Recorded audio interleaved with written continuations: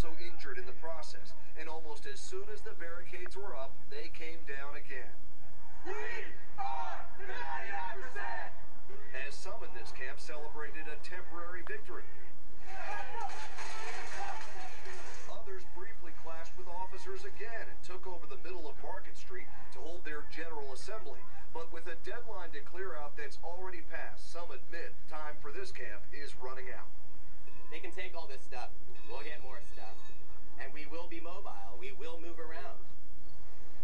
Now, just about an hour ago, we shot this video of police loading up all of those barricades, but they've only said they are not clearing out the camp tonight. Now, some protesters here have said they will take up the city on an offer to move to a new site in the Mission District, but we've talked to people here tonight, and I can tell you